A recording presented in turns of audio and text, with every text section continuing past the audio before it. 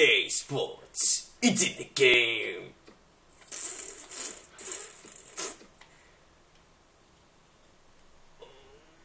What the fuck?